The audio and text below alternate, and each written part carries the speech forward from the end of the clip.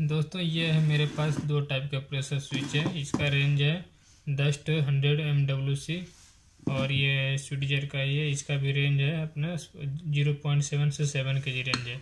दोस्तों, इसके अंदर मैं दिखाता हूँ इसके अंदर पार्ट क्या क्या होता है और किसका क्या काम होता है।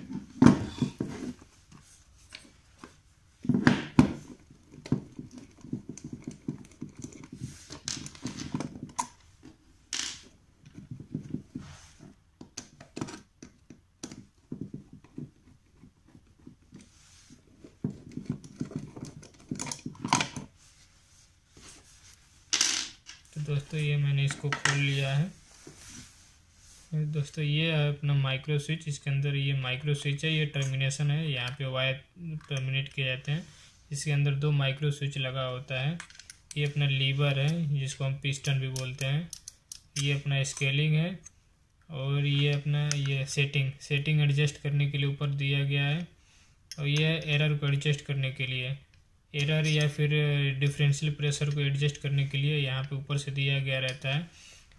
ये इसका काम होता है जैसे कि हमारा रिसेट होने में ज़्यादा प्रेशर डिफरेंस आता है उसके लिए फिर इसका यूज़ करते हैं डिफरेंशियल प्रेशर एडजस्ट करने के लिए या फिर एरर को एडजस्ट करने के लिए। यहाँ से एडजस्ट करते हैं नीचे से। फिर दोस्तों ये है अपना माइक्रो स्विच ये जैसे इसके अंदर प्रेशर आता है ये मूव होता है अप होता है डाउन होता है। फिर ये ऑपरेट होता है यहाँ इसके अंदर माइक्रो स्विच है। ब्लैक कलर का दिख रहा होगा इसके अंदर। ये इसका केबल ग्लैंड है जो बाहर से यहाँ से केबल जाता है और ये स्पेयर में रहता है। एक ओपन क्लिक अभी एक ख़राब होता है तो दूसरे को हम यूज़ कर सकते हैं। और ये है दोस्तों, इसके अंदर ये स्प्रिंग दिया गया रहता है एडजस्ट करने के लिए।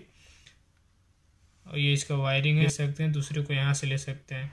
इसका ज़ीरो पॉइंट सेवन से सेवन के जी का रेंज है इसका। और यहाँ पे अपना बेलूज लगा रहता है। सेंसर जो मेन होता है, इसके अंदर लगा रहता है। इसको मैं खोल के दिखा दे रहा हूँ।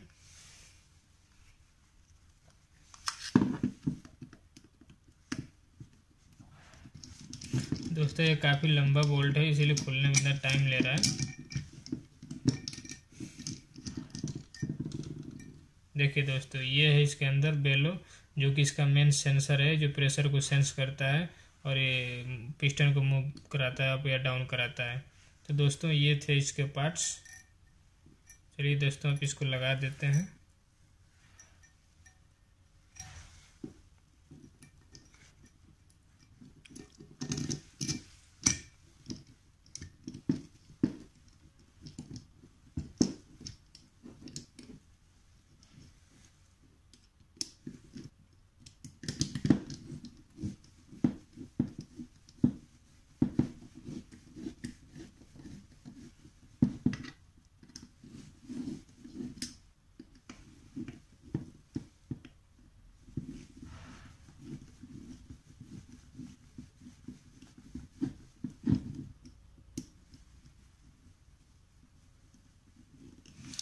दोस्तों, ये हो गया। बाकी ये यहाँ पे आप एयर और वाटर दो कुछ भी इनपुट में दे सकते हैं। इनपुट देने से ये पिस्टन ऑपरेट होगा। और यहाँ पे हमारा जो भी एनओ में दिए रहेंगे तो एनसी होगा। एनसी से दिए होंगे तो एनओ हो जाएगा। दोस्तों, ये तो था इसका। चलिए मैं अब इसका दिखा देता हूँ। ये कैसे रहता है इसके अंदर।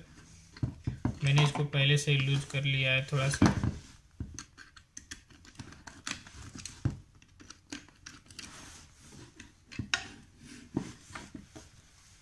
दोस्तों, ये है इसमें इसका टर्मिनेशन बोर्ड यहाँ पे आप केबल आउट करते हैं, यहाँ से लेते हैं। एक इसमें एक बीच वाला कामन का है, ऊपर वाला एनओ है, नीचे वाला एन सी का है। आप इसमें से कोई दो केबल लिए रहते हैं, बाकी तीसरा इसके ऑपरेट होने से चेंज हो जाता है। दोस्तों, ये है इसका अंदर का स्प्रिंग है रिटर्निंग स्प्रिंग है। अब यहाँ से आप सेटिंग इसका एडजस्ट करते हैं सेट पॉइंट एडजस्ट कर सकते हैं। और ये इसका नीचे पिस्टन है, इसमें बेलोज लगा रहता है। सेम ऑपरेशन इसका भी उसके जैसा है लेकिन थोड़ा सा रेंज का फ़र्क होता है। बाकी दोनों का सेम ऑपरेशन है।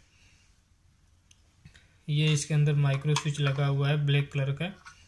इसमें सिंगल माइक्रो स्विच है सिंगल इसमें भी टर्मिनेशन दिया है।